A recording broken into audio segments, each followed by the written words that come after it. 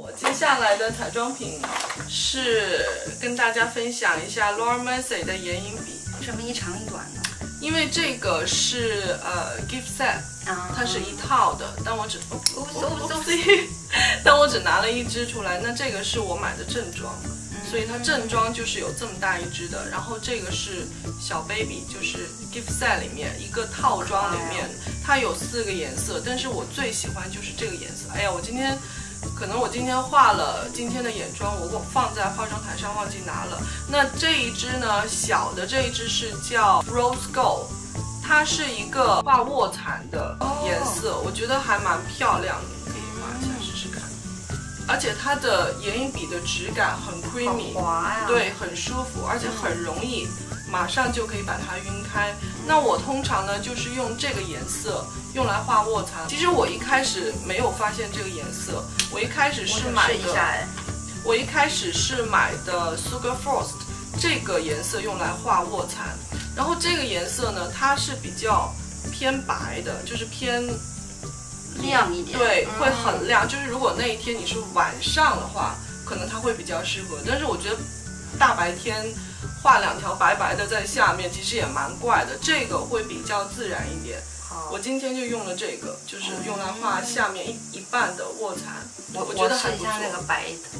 这个是吗？嗯。我觉得这个真的是很好用，而且，呃，它的质感质地也蛮 creamy 的。很多人问我说它跟 By Terry 哪个好用？说实话，真的是，嗯，两个我都离不开。我觉得两个各有千秋，都很好用，两个的显色度都很好。那你要非要说质感方面的话呢，creamy 的程度，苛刻来说，By Terry 的那个会是更好一些。看得出来吗？我看一下，哎，真的好看的。看得出来吗？就呃，我觉得你用这个颜色好好看哦。那我觉得 By Terry 那个会更 creamy，那这个呢，其实相对而言也还不错。性价比来说呢，可能 Laura Mercier 会更容易被大家接受，By Terry 那个一支会稍微贵一点。所以，嗯，这一次呢，我就跟大家分享 Laura Mercier。如果你不想考虑 By Terry 的话呢，这个会是另外一个品牌的眼影笔，很好用的。看看嗯，好看还不错哎还不错啊。嗯，看得出来吗？看得，出来，好看呢，嗯，有一种水灵灵的感觉，马上就出来了。好，我找到了这支眼影笔了，它 是藏在我的盒子的最边边的地方。那也跟大家很 quickly 的说一下，它的色号是叫 Moonlight。这个颜色呢，今天我也有用在我的眼皮上，就是很自然的一个大地色。那它是带珠光的，所以我觉得呃，如果你很着急的话，画一下，然后直接用指腹把它晕开，你就可以去上班、出去逛街干嘛的，我觉得非常方便。而且这个也是同样完全不会晕妆。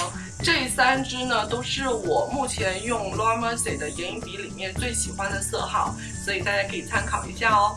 接下来的彩妆品哦，我刚刚有拿它的这个这个，哦，好漂亮，它的盒子，对啊紫色的，不好意思没擦，有点脏脏的哈。紫色加金色，对，好然后。它是哇，里面是长这样子。好百搭啊！对它的颜色首先很百搭，然后我喜欢它的原因，它因为它全部是不带珠光的。是全部都是雾感，对而且镜子也太大一块了。对我，我一般弄头发的时候，我看不见后面，我直接就拿这一块看后面头发有没有做好。对，给大家看一下它的镜子，会有点反光。这镜子超大一块的，就整一个眼影盘这边都是镜子，好，是，这个镜子好赞啊！呃，这个我买的原因是因为它是没有珠光。嗯我为什么喜欢没有珠光的眼影？是因为呃不是说喜欢吧，就是我可能喜欢用这种来打底。嗯因为我觉得亚洲人的眼睛呢比较泡泡的，嗯像我自己的眼睛呢就会有一点泡泡，然后双眼皮褶又不是很大。然后我一般是用这个颜色来做，呃，给眼睛做一个打底作用的，这样就不容易晕妆。然后呢，如果我今天用比较粉色的这个妆的呢，我就用这个来打眼窝；如果是大地色呢，就用这个来打眼窝。这样的话，因为它没有珠光的那个反射之后，你的眼睛可能就要会深邃一些。这样你在眼尾的放一点珠光，这样就好看很多。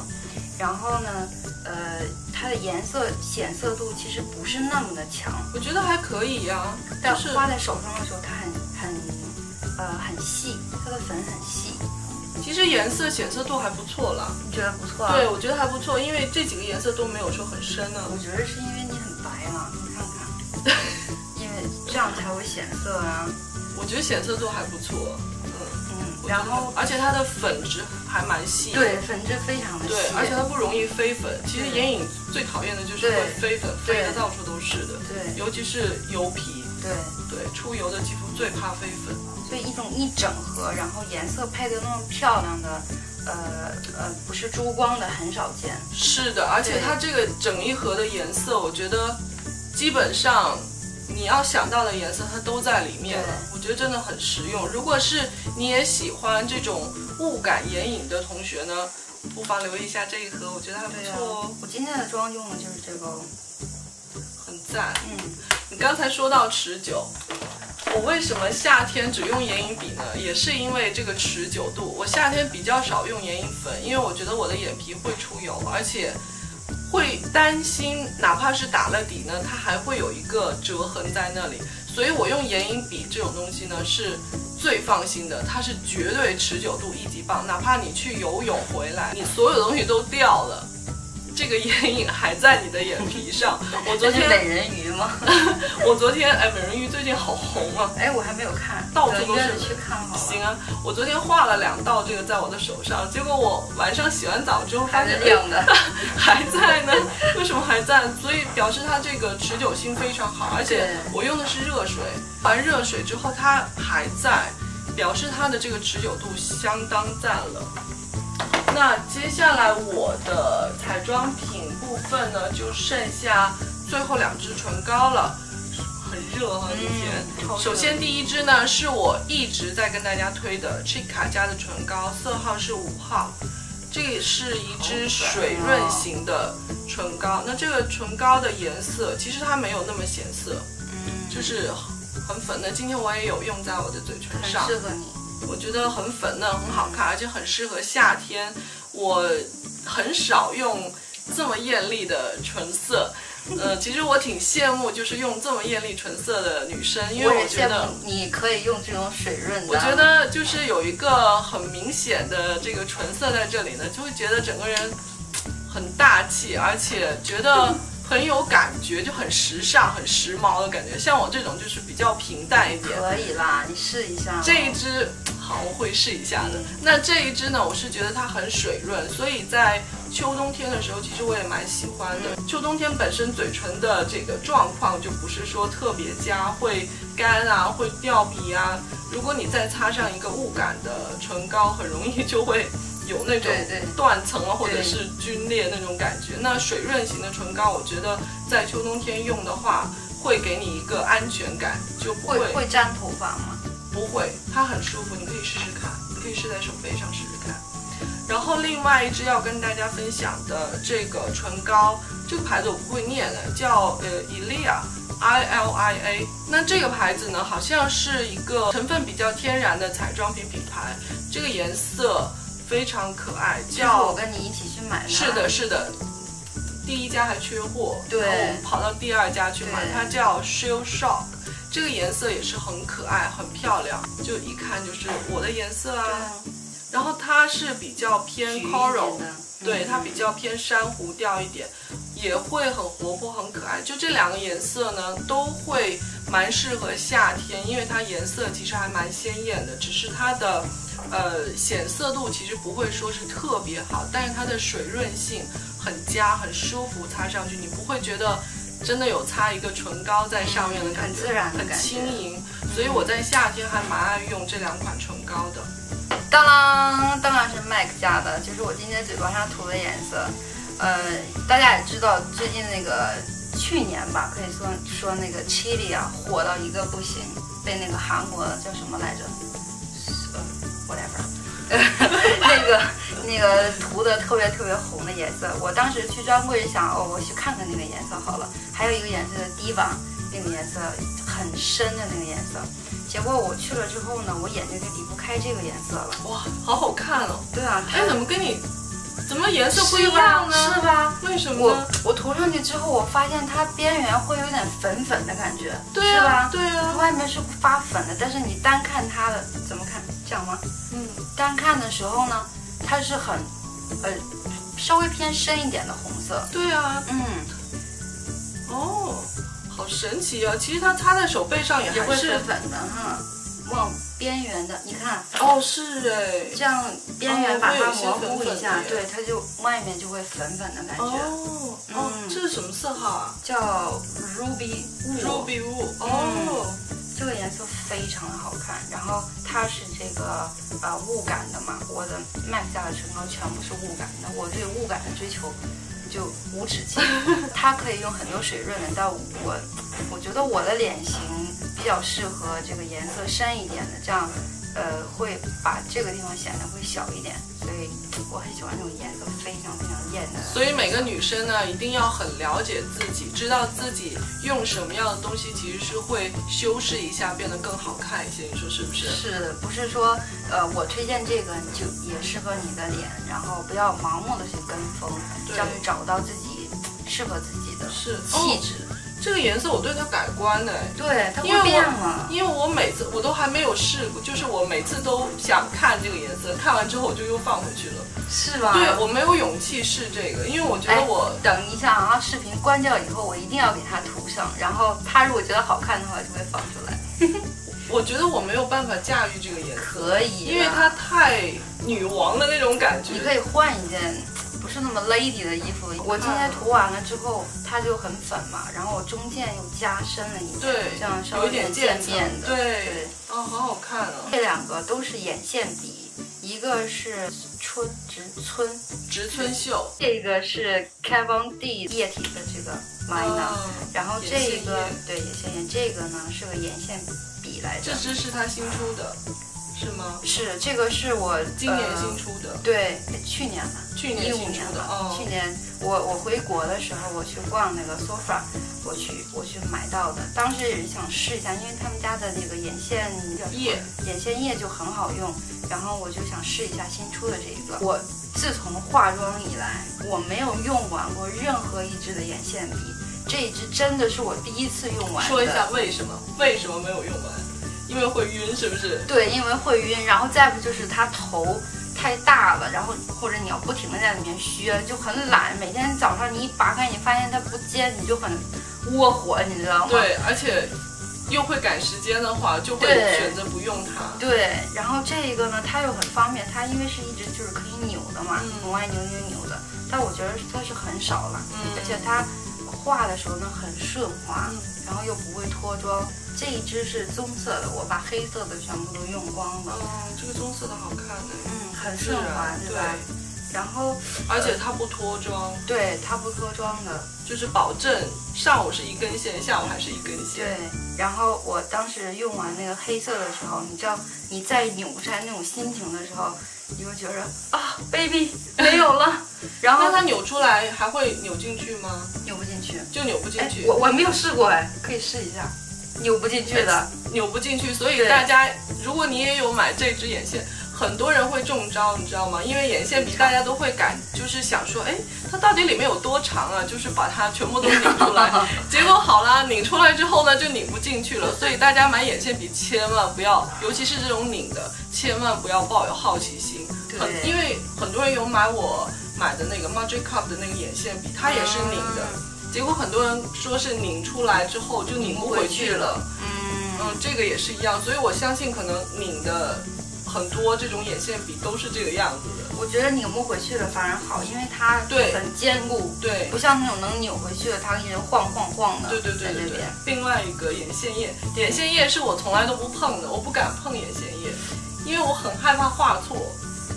那种棉签就擦掉就好了。但它容易擦吗？就是说修的话很容易修。对，但你不要。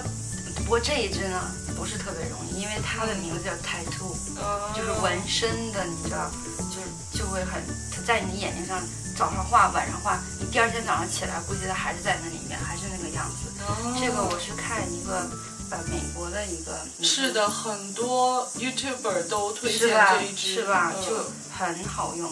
然后我经常用它来画内眼线，因为我觉得这种质地的比那种，呃，像那种铅笔类的会更容易持久一些，所以我用它做内眼线和勾勒外面的这个眼线。你用它还用画内眼线了，就是画得到内眼线，画得到。哦但是就要很小心，因为它尖很细嘛，是的。可能就要平着这样拿，一点一点一点点往里面上。最近我有被讲草这一个不是 Tom Ford 的啊，Tom Ford，眼，但是因为我很少用眼线液啊，嗯，我一直都是用眼线笔。我觉得二零一六年我要改变一下。彩妆品的部分你说完了吧？对，说完没有了。那好，那最后呢，就是有的没的时段啦。嗯，还是由你先说吧。我先说，你先开始吧。好，我现在拿出来了一个噔啊噔超粉的颜色。这是个什么呢？他刚才说买那个呃 Body Veil 那个东西，它是外贸协会，这个就是我一定要讲它的来源是怎么来的。当时我在杂志上有看到，哎，我应该把牙刷拿出来，大家不知道是什么 它是一个牙刷，是这个牙刷很出名啊，是是牙刷。我当对，时看的时候飞，利浦的。对我就我说老公，我一定要买这个。我老公给我一句：“你家里面不是已经有一个 Oral B 的了吗？你还要买新牙刷吗？”然后其实我我可以不用管它，我就买的，但我知道这样子太太太不对了。太入了。对啊，所以我就想，啊，算了，我只是念一念而已。最近情人节，我老公就从那个座位下面拿出来，说啊，给你的生日礼物，不是啊，给你的情人节的礼物。然后我想什么东西，然后一打开，它也没有包装，你知道。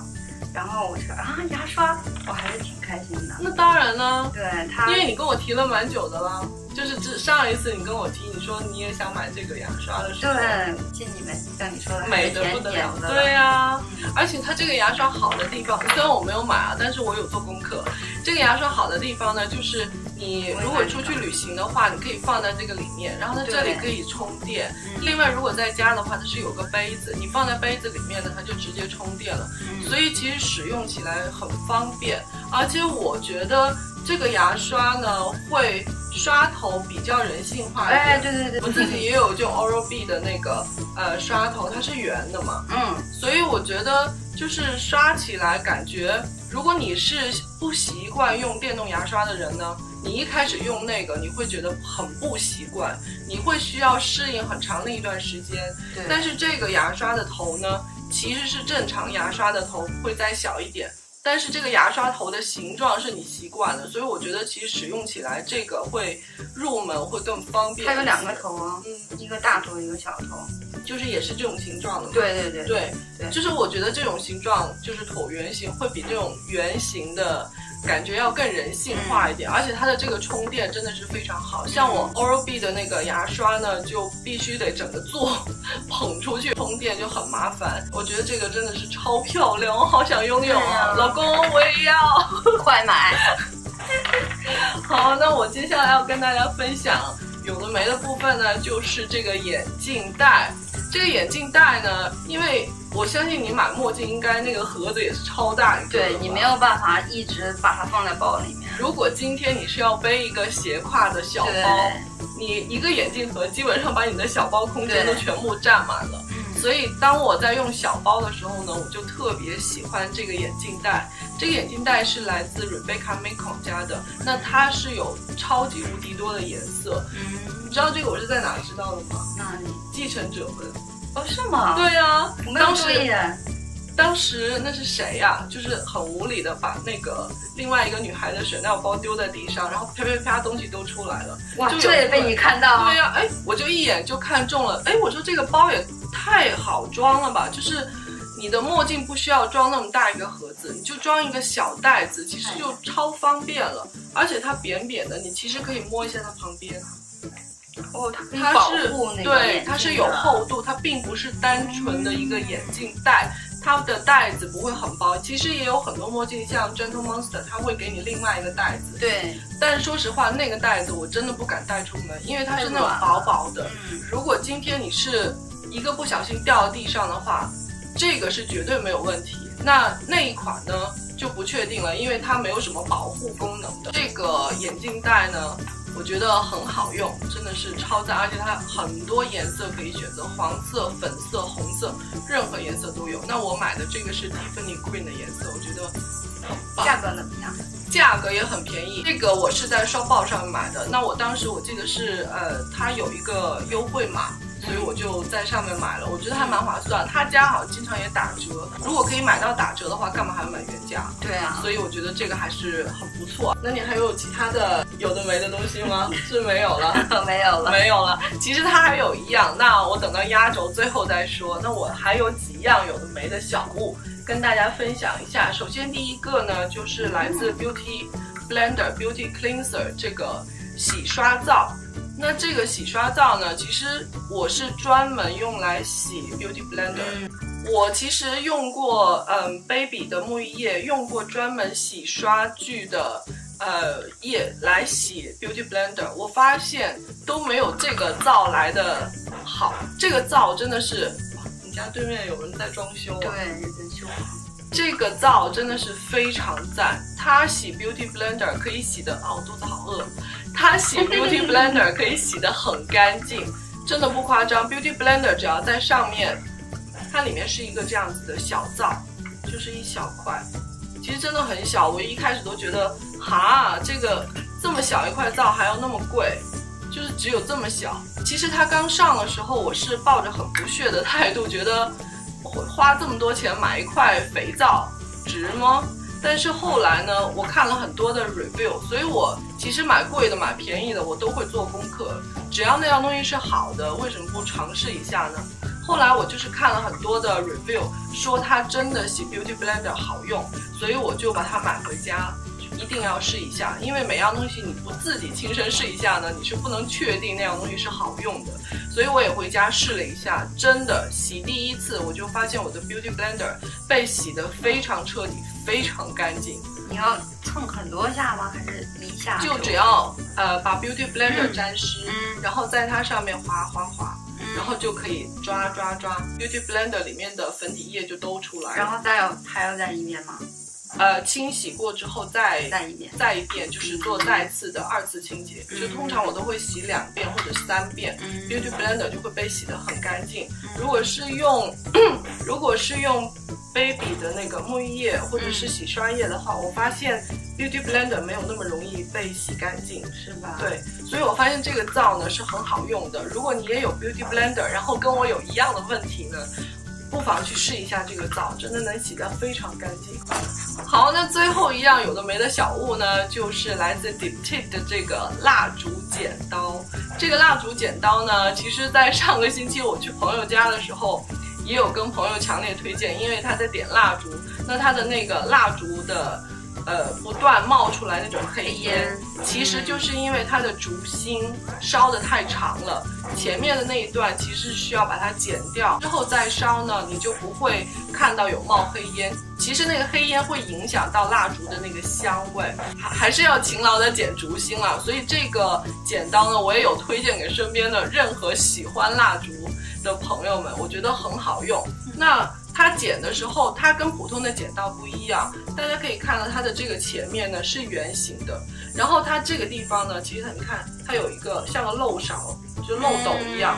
它的烛芯是会被吊在这个圆形的地方，所以非常好用。而且它的这个剪刀的这个前面的部分很长，所以你不用害怕说我的蜡烛如果烧到很里面，那我怎么剪呢？会烧到自己？它是完全不用担心的。所以它其实很容易就够到最里面的那个烛芯了。它可以用来剪指甲，剪指甲不行了。那这个我是觉得真的是很好用，所以我很推荐给身边的朋友。我觉得，呃，如果你喜欢蜡烛的话，不管你有没有买 d e t i c 的蜡烛，你喜欢烧蜡烛，呃，不希望蜡烛会有任何的异味出来的话呢，这个会是一个很好，就是你呃蜡烛本身它不会冒黑烟，这是第一。第二呢，就是。蜡烛的瓶身不会变黑哦哦，它不会冒黑烟。对，因为你如果烛芯一直不剪的话呢，你的瓶子你会发现整一个蜡烛烧完了之后，你的瓶身上半部三分之一的部位吧，就是黑色的。看见这样的瓶子呢，你就会知道哦，这个肯定没有剪烛芯，所以这个剪刀我觉得还是蛮必备的。就即使你不用贵价的蜡烛，你买一个便宜的蜡烛，其实我也经常会买一些小店的蜡烛，嗯，十几块钱的蜡烛我也会买。我觉得，呃，只要是好看的好闻的，其实我就会搬回家。贵跟便宜，也就是它蜡烛本身的那个精油，一个是用精油，可能一个是用香精，调对对调的那个味道。但是，嗯，我买蜡烛其实我不会全都买很贵的，因为很贵的蜡烛真的烧起来感觉有种在烧钱的感觉。对对，所以买贵的蜡烛呢，我不知道你啊，但是我自己有时候就是放在家里面拿来做装饰，对就会很有的时候或者是很特别的日子啊，会烧一烧，嗯我会觉得啊，好棒的感觉。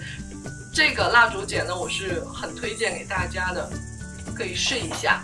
好，那我的东西呢就分享完了，最后呢就是要分享朋友的压轴品喽，会是什么呢？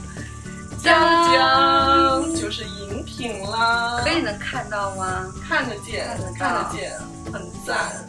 它是一个哎，passion fruit 中文叫什么？